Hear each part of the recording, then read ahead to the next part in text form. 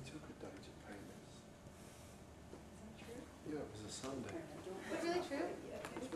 Yeah, I don't mess around, you know. I just need a lot of rest time, a lot of prep time. Like messing around like this.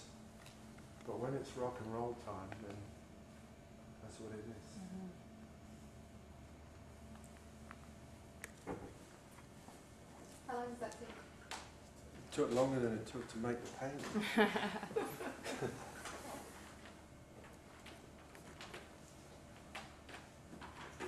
oh, that's clever. Those little foot stoppers. Yeah. And I, I used to use, oh, maybe I put those on myself. There. Yeah, That was clever. yeah, because, you know, that was an unconscious compliment to myself. So I think we can, I think, I think we can forgive me that one. I know it ended up in my own lap, but it wasn't directed at me. Yes, we can turn off all cell phones. For when we go to the cinema, we have to turn off our cell phones.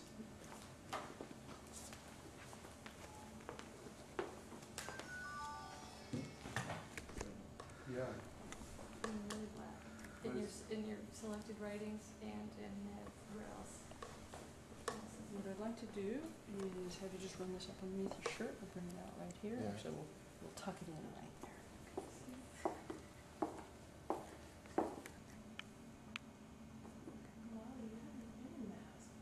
No, not inside, I only saw from, yeah. So did you read about how the fig leaves in his paintings? Isn't that great? That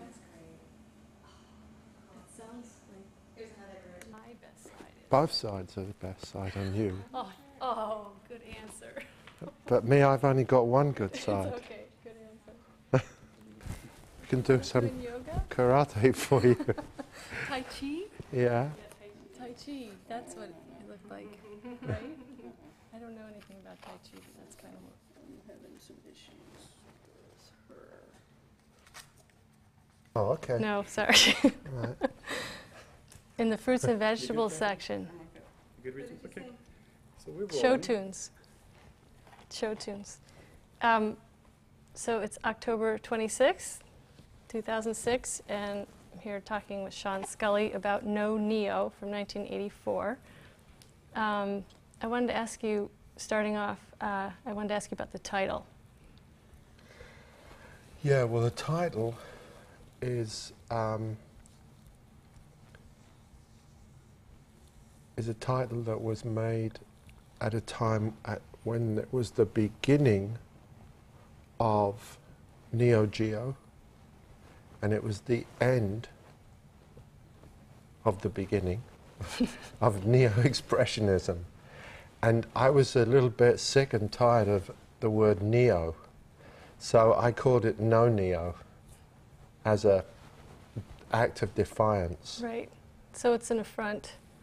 It's an affront, yes, And I hope. And the idea of Neo is really important to you because you, you named your studio, in a sense, Neo Neo. Is, is that, Well, it was a coincidence because at the time I became um, incorporated, aha, and the guy who was searching for a title gave me a long spiel, as they do, about everything in New York, even doorknobs. What what should be the title of it? And he gave me all the possible ways of thinking about it, and of course I was ready at the beginning because I just finished this painting, and when he'd run out of gas, and he pulled over for a rest, I said, Neo Neo, meaning, meaning nobody else will have thought of that name, right? so we won't have to mess around. and that's the name of my Right. corporate tax status, Right, right, Neo right. Neo Right, Inc. right, And this was no Neo, so that actually the other was the opposite, because the opposite was affirming the idea of Neo, and this is contradicting it, right. resisting it. I want to go back to the idea of an affront and a kind of uh, something that's quite um, in your in your space because these multi-panel works that you were doing then, these one of the first to emerge. Yeah. Um, it, it's really an important moment for you. 1984. Yeah, well, what happened was that I, I moved into a loft on Duane Street. And the loft, 110 Duane Street, and the loft was full of shelves. And it was a beautiful dark space that was a textile warehouse. And of course, the previous tenants took all the textiles, but they left me with the work of disassembling all the shelves naturally. So we took all the shelves down and built the loft with the verticals. And the horizontals were beautiful pieces of pine wood that you could never get now, and they had been dried for 30 or 40 years in this place, and they're red. I cleaned them all up and I stood them against a wall, made a very interesting sculpture because it looked like a three dimensional striped sculpture. Right. So I passed this thing on a daily basis, of course. It was in the end of the studio. And um, when I went out to the Edward Albee retreat for a month, I didn't take any canvases. I just picked up pieces of wood that were out there and bolted them together and screwed them together. And that was how I made the corner paintings. The first corner painting, called Solomon, black and white painting, was a long piece of wood that I painted vertical stripes, and I thought that it was actually too long. So I cut some off, and then, not wanting to waste my effort, I simply laminated the bit that I'd cut off on top of the other one. So the painting went along and went back and went along. Then I got the idea to use all these boards that were in the studio, and four of them are in there. Huh. So this is a stretcher that was made by me. I just chopped and screwed and glued. One, make these one deep stretcher, boxes. Just the one, yeah. The others are are not as deep. yeah. So they were made out of regular pieces of wood that I had lying around. And So what are three stretchers? Yeah, there's three. Uh, well, actually, there's four, but one is of no consequence because it's painted over. And what I was thinking about was how to make a painting that had the force and the emotion, the f- but the physical force of a painting by Van Gogh. But now. Interesting, because I was going to ask you about the yellow Yeah, Van Gogh yeah. Van and the blue. Yeah, Van actually. Gogh was a master of yellow. And the blue is a colour that I don't really have in any of my other paintings. And I painted the picture, as I told you, very fast. And that yellow is made by painting uh, white, or nearly white, cream colour over yellow ochre and it picks up a lot of the color underneath, and that produces this. The white is over the ochre? Yeah. Or the oak? Okay. Yeah, you see in the seam, Yeah. there's the ochre. Yeah. So when I Oh, paint right. over, that makes the color. The color from Yeah, yeah. underneath makes the color. When uh, you look at the edges, you can see how it was made. When Yeah. you look at the middle, you can't. It's harder to read. That's yeah, It's all in the edges. yeah. It's all in the edges. And these edges are, there's so much tension in them because they're not, they're, they're very different edges for you, I find. Uh, they're, they're not straight, yeah, and I wondered if you could talk about that. It, uh, they're almost, to me, because they're not perfectly straight, they read as these wobbly figures. yeah. I the- was the thinking s- about figures. These two, Yeah, I was thinking about figures and trees, which are also figures, yeah, of course. absolutely. And uh, I wanted to animate the whole thing and work against the construction of the box. So it's as if I make a construction that has to be overwhelmed by the emotion of the painting. That was the idea. So they're really in a battle for supremacy. As are the two, you know, colors, in Yeah. a way, the forward and back between the, you know, between the, the blue and the yellow. Yeah. And the blue was painted many times before I got to that darker blue. And I remember that it was it was very bright and I kept trying to make it darker. and eventually I got it so that it was darkened but very lively. Is the way I would describe it. Right, well, there's a light that comes through it Yeah. in, in the blue and in the yellow, right. both. There's a lot of layered um, paint in which, through which the light kind of shines. Espe- and also in that passage in the fleshier toned. That's how I finished the painting. So I remember I painted the blue and yellow first. I painted the body of it, and then i I painted that in the corner with, I, I would almost describe it as junk. Junk colours that I had. Maybe I had some of that, some of that white cream colour left, and I banged that down on top of a, a red. It reads as flesh, though. Yeah, that's right. It looks like it's very associative, Yeah. and um, of course, I wouldn't have left it if it if it wasn't associative. That's built into the argument. Yeah. But um, when I'm making the paintings, even now, I work very fast.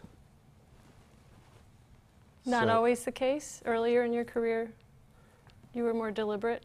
Well, when I was young, I was making these systematic paintings, you know, and they are made with bright colours, parrot colours, I like to call them, or butterfly colours, like your brooch. Okay. So I was making colours that um, were more received, and then as I, as I went through my life and gathered more weight, emotional weight, the colours changed and they got to be moody, Somber, somber, sad. sad, yeah. But this is not a sad painting. No, this is one of the most um, vital of the paintings. This is a this is a bright one. Almost exuberant. Yeah, um, and they have this kind of swaying motion. Particularly this one um, has a a kind of falling. The lines are falling and wobbling around, like the lines on the left. I drew that. By the way, I drew those oxide color lines with an oil stick, and it was wonderful to be able to draw like that. That was at the time of of a, an art movement which lasted about a week that was called graffiti. and one of their one of their finest inventions was the invention of the oil stick. The oil stick. And everybody wanted to paint with the oil stick. So I used it for drawing, which I did on several paintings from the 80s, like Angel, black lines drawn on one side, Angelina's another one. And then I painted around it with a kind of looks like a, a dark, cold umber colour. And then at a certain point, I obviously put this white colour on it. But and it's probable or possible that I repeated the use of the white in three places with different results because of what's underneath. And almost the, the, that amber, that or oxide color as well Yeah. repeats over here in, Yeah. in paint. From a different source. Yeah. yeah. Yeah. So this was bit. painted um, as a beautiful uh, um, red colour, deep earth red, red ochre probably, and I put it, you can see I painted it very aggressive. And the light colour is more like this, more wavy. And this is stroked heavy and, and stiller. And this, this one here is, is more agitated on the left. So there's kind of a s- surface story running through And it. as your your works relate to other works, um, you know, around this time, certain colors are are related as well. I'm thinking of Outback and the the red Yeah, color in that that kind of earthy tone, right. and then the fleshy tone in this relates to the painting of that name, Flesh, also Yeah. from '84, right? That's right. So, are there others that you think of um, as relating to this painting when you look at No Neo? Yeah, um, there are others, but I can't remember. The them. Bather. No, the bather was more golden. The Yeah. bather is is is very lit up in the central panel, the panel that represents the figure coming out. How about Murphy? Yeah, Murphy. Um, yeah, Murphy I can remember quite well because I talked about it on Sunday at the Met. So that's a good one to ask me about. Okay. I'm lucky. I didn't know that. I lucked into that Yeah. question. So Murphy has, but Murphy has a kind of a, a, a darker brown. S- saturated. Yeah, a very heavy brown. Beautiful color brown now. I really like that. And it's drawn out with uh, a white oil stick again. I was doing a lot of oil stick drawing Okay. at that time. And uh, of course the, the paintings, um, you know, uh, there was a painting called Heat. Yes. That has this color too, sweeping across. This red ochre. I was very fond of that color at the time. So, heat, red earth, painted as a companion really to outback. hmm They all have this kind of color, and then this pinky color too, pinky yellowy color Yep. was in outback. Thinking about Australia, where I'd never been. Right. Imagining. I was imagining Australia Right. to see how, how it would be without having to. Were you right? You've since been to Australia. Uh, yeah, I was right. Yeah, Good. yeah. It was very much like what I imagined. Taking the colour from the ground, yellow ochre and red ochre, these earth colours, which I'm still very fond of, of course. So I'm always pushing the colour down, which is sorrowful, and lifting it up, which is trying to, I suppose, redeem the situation, to salvage something from the sinking light. Yeah. Yeah, so I'm always in this fight. So my my my feeling is is is falling, but my v- vitality is refusing to allow Right. it. Succumb. So that keeps me painting because it's always pulling and pushing. an Tension. e- Internal, external. Yeah, there's an tension. engine there. Yeah. Yeah. So there's the will and the s- and the emotion. And it happens for you in paint with Yeah. that tension in, in it. The thing about this painting in particular, No Neo, is that it was made as an act of aggression. And I had something to work against.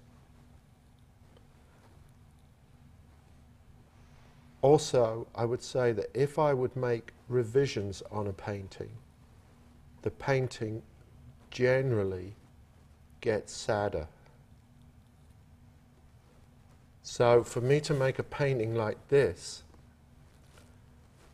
it needs to be made on a certain day in a certain way. Right. Making this a kind of important work for you in that. Yeah, uh, well, I talked about that on Sunday. There's paintings that I revise, and there's paintings that I don't revise. And there's quite a difference. I'll give you another example. There's a painting in the Lenbachhaus, very related to this, around a similar period, called This That, because there's this and there's that. and Hence the title. and the painting is a vertical one, and these are the most impractical, because as the painting goes up, it gets bigger, heavier, made again with all these boards from Duane Street. And I, I was making the painting on Duane Street, and it was red with black lines like this drawn between with black oil stick. And when I, when I thought I'd finished the painting, I, I went to move it, and I'm, I, I stood it on the floor, because this you can stand on the floor, because it's, it's big in the middle. I had considered, by the way, making, making freestanding paintings, freestanding paintings at this time. Almost did it. Why didn't you do it? I couldn't quite figure out how to do it, and I always had the idea that my mission was to put painting back in the middle of the argument. So I couldn't allow Turn myself into to too get much of an object. Yeah, because then people would say, "Oh, it's sculpture," and I'm not interested in that conversation. So anyway, this painting, this that, which is deep like this at the bottom, and deep like that at the top, it goes bigger as it goes up. I stood against the wall. I leaned it a little bit, but I miscalculated. And as I walked round from the left side of the painting to the right side of the painting, it fell on top of me. And I was in the position of, you know, Peter Sellers as Inspector Clouseau, trying to push the painting back like this, so, so you know, Laurel and Hardy movie. And there I was, you know, hurling insults at the painting, which the painting completely ignored. And and f- fell completely on top of me. So I was under the painting like this, trying to get out, being painted red. And by the time I exited from under the painting, I was red. So that's why the painting is yellow. Because I'm not having that. All right, no more red. You you could deal with yellow all over your. No, the, if So, it was yellow, no. I would have painted it red. Gotcha. Because I'm just not putting up with that kind of behavior right, right. from the painting. It was a punishment. Yeah, I said, all right, uh, you want to do that? Fine. Now you see what happens next. Now you're going to be a yellow painting, and then you won't think it's so funny. So I painted the painting yellow. That's what happens. Yeah. Well, thank goodness this didn't fall down. Who knows what color it would have been? Well, it still would have been okay. It just would have been okay. Yeah, It's just beautiful the way it is, though. yeah. It really is. So that's how I did it. I made the middle, painted it down to there, and I was very. I remember I was very tired. I was almost exhausted by the time I got to that last corner, and I bashed that in, and it looked great. And that was that. No temptation to keep working on it. No, it. was finished. Yeah. It has that kind of immediacy Yeah, to it. That it's Yeah. that it's very active work and very fresh. and the other thing about the Van Gogh reference, besides the yellow that you wanted to discuss, is that. Well, his yellow, use of yellow, is in- incredibly melancholic. It's a very similar state of mind to the one that I feel, I think, when I work a lot. Because it's naturally vibrant, so to make it almost ill as he does is really quite interesting psychologically. But the thing that I wanted to do so much in these paintings in relation to Van Gogh was to make a painting where everything was a positive. not something on something else. I wanted to make a painting that was all, all positive and affirmative action. Thus, no Neo. Right. It's standing on somebody else's shoulders, of course, but it's not a, a re Derivative. regurgitation. Yeah. it's not ironic, in other words. Right. Right. Is there anything else you want to say about the work? That No. I think I'm finished now. okay. Thank you. Thank you very much. Thank you. Alright, All right. Good. If everyone could just sit very quietly, with no moving and no speaking. Just gonna get the sound of the space that we're in. You're rolling, Matthew. This is room tone.